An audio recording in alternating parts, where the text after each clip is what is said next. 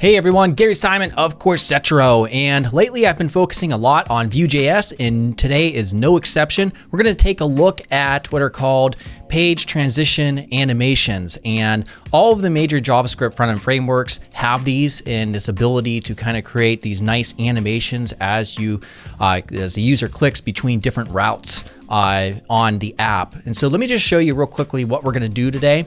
And I uh, here it is, obviously very simple.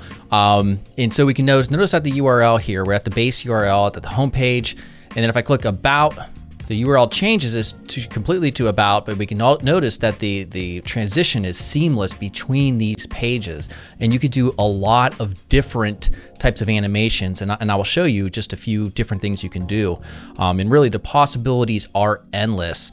All right, so just uh, to get this out of the way, make sure you subscribe here if you haven't yet and check out Coursetro.com. All right, so let's go ahead and get started. I'm going to hop into my console real quickly. Oh, but real quick, before we begin, make sure you check out my site, Coursetro.com, where you're gonna find a bunch of courses on modern design and development. A lot are free, and the others you can access for the cost of buying me like a six pack each month. That's it. Now also, it probably wouldn't hurt to subscribe here on YouTube and be sure to make sure the notifications are turned on. All right, let's get back to it. All right, so the very first command that we're gonna run here is a Vue command. So make sure that you have the Vue CLI installed.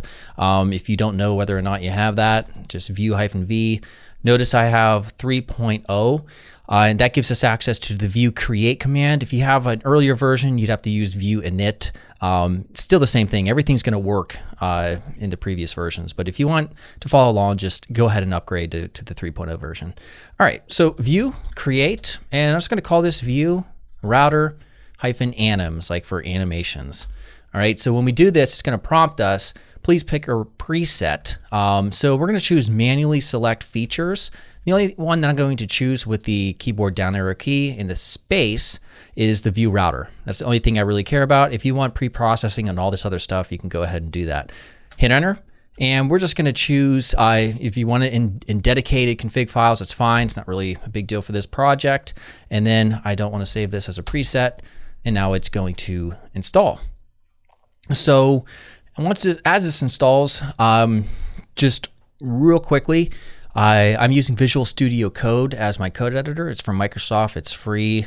Um, and once this is done, I'm going to run a command called uh, code and then a period, and that will launch it for us.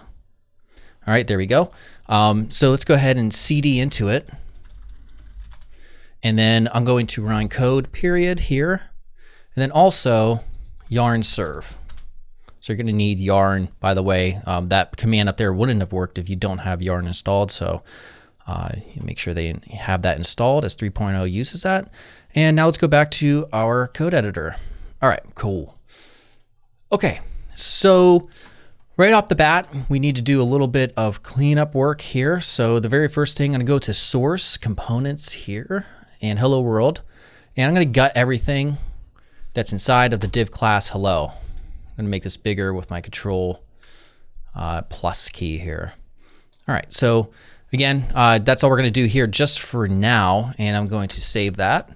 Then we're gonna go to our views folder, and this is all stuff that the CLI generates, of course. Uh, we're gonna go to the about view, and I'm just going to add in a lorem ipsum. So lorem, where are we at? There we go. Uh, yeah, we'll want to encase that in paragraphs so real quickly.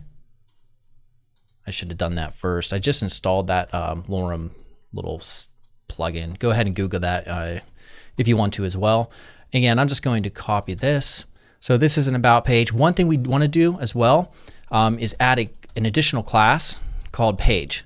And you'll see how that works in, in terms of importance. And we're going to create a CSS rule set for that specifically um, down the road. And then we're going to go to home and uh, basically the same thing we have going on. So we're just going to put page here for the class and get rid of both of these.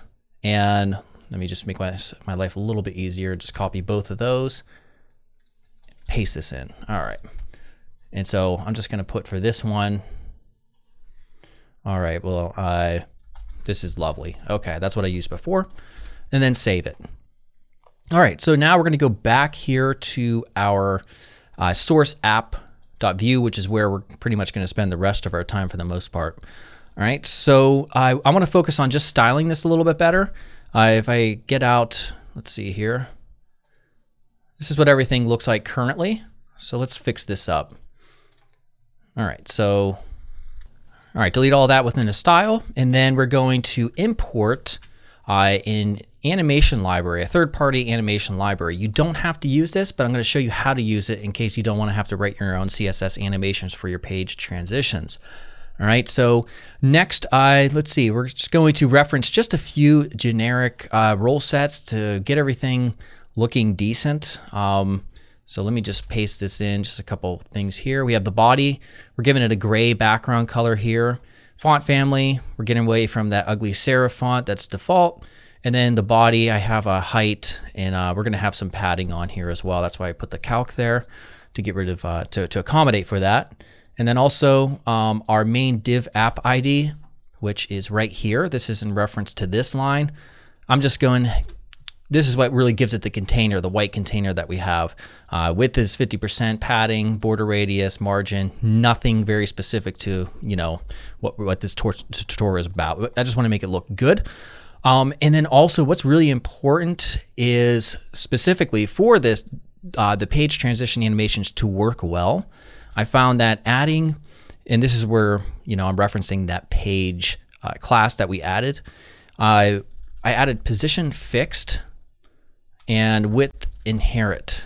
Uh, I'm going to show you the effects of you know when we when we remove this uh, once we apply the animations. But go ahead and just save this as is for now. Okay, so now we're going to get down to actually defining the router animation. So what we want to do, notice we have our router view right here. This is essentially where our views are placed. And of course, we have two of them, which is home and about. And we want to wrap it with a transition element. So transition, and this is specific, of course, to Vue, name. Now we can give this a specific name that we can then reference later on. So it could be anything, router anim for animation. And then if we want to use this third party animation uh, library, we can go ahead and add the following. So enter active class, animated, and we'll say fade in down. Okay, so where did I get that information from? Let me come up here real quick. So animate CSS right here. All right, so this is animate.css. That's what we're importing.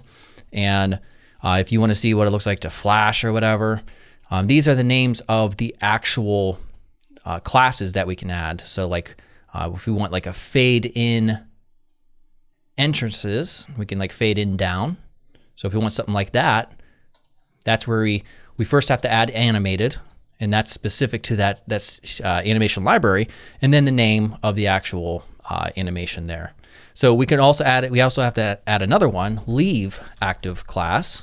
And this defines the animation for when the element that's wrapped inside of this transition element here leaves the DOM. So like when you click from a different page, what happens to the content that's leaving? All right, so same thing, animated. And then we could say fade out down. Let me see if that's actually what I used before. Yep. All right. And then we're done with that. And now let's close that up and then save. So let's go ahead and see what this actually looks like in the browser. All right, so I'm refreshing. I want to make sure any of the CSS changes actually take place. There we go. Notice it's, it's going back from about. Now let me show you what happens to this when we don't have that page class defined. So I'm just gonna get rid of that, go back, and refresh. It's really jerky. So adding position fixed or even absolute will help fix that issue. All right, so let's go ahead and bring that back. Okay, so what if, or uh, let's just real quickly, let's experiment just to show you how easy it is to use something like animate.css. I mean, you can experiment with a lot of different things. Let's just do something ridiculous like uh, flip in X and Y. I'm not sure if that's going to look good, but we'll try it anyhow just for the hell of it. So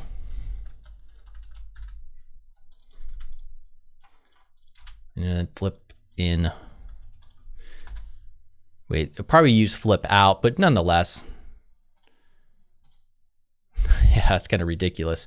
You can also put a delay so that the one finishes um, first before the other one comes in. All right, so let's go ahead real quickly and talk about next, what if you wanted to define your own animation and you didn't want to use this big bulky uh, animation CSS file? All right, it's very simple. We can get rid of our enter active class and leave active class. All right, so now it's gonna simply rely on any CSS rule sets that we create with the name as a prefix for the names of those classes. All right, so uh, let me go ahead real quick and come down here. All right, so the name again is router anim. So we're gonna use that as the begin, big, beginning of a CSS class rule set. So paste that, and then we're going to say hyphen enter hyphen active. All right, so now we can use either the CSS transition property to define an animation or an actual keyframe animation. So if we go to animation, we'll say the name of the animation is going to be coming, and then for one second is the duration. We'll also say they'll have an animation delay of 0.5 seconds, and we'll set it to opacity zero. And of course, I didn't just know right out of the gates to, to, to specify these values. I did it through experimenting. Uh, and so it's all about experimenting really. So it's also put router anim leave active. And these different states here, by the way, there are other states that you can use uh, that give you a lot of fine control. So I would suggest researching those. And that's that was just specific to Vue.js animation. Um, and so let's put in animation. We'll name this one uh, going and for one second. So now let's define the actual keyframes. All right, so we'll put in at keyframes going, and we'll just say from and transform. We'll say translate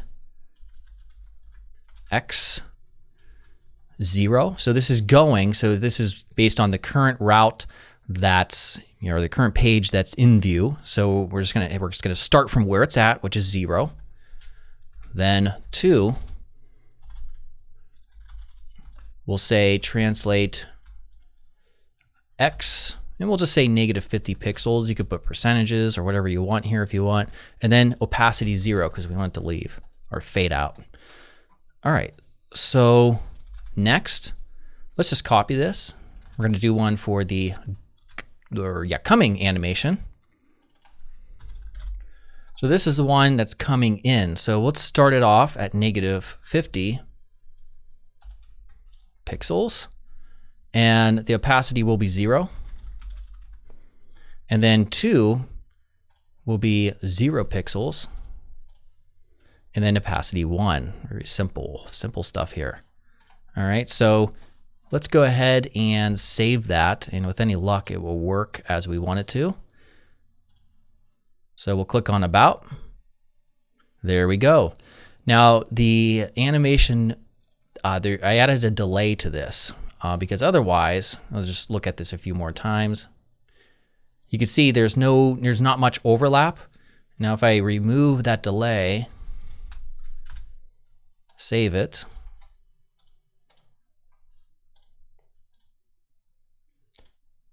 it kind of is a little bit confusing. So that's why I added that delay. Now, of course, you can, uh, I'm gonna add that back. You could, you could add multi-step animations with percentages uh, like 0%, 25%, you know, to, from, uh, to really add even more complex animations. But at the same time, you do not wanna overdo that because it's going to kill the user experience and nobody wants to watch a ton of animation when they're trying to access different pages. Uh, but for something subtle, I think it's definitely uh, an approach that you could take to really enhance the user experience of the website. All right, guys. Uh, hopefully you enjoyed that. And if you did, make sure you subscribe here. I'm going to be using actually the same technique uh, on an upcoming uh, Coursetro Pro course where we use Vue.js to create a sort of like a personal site slash portfolio. All right, talk to you guys later.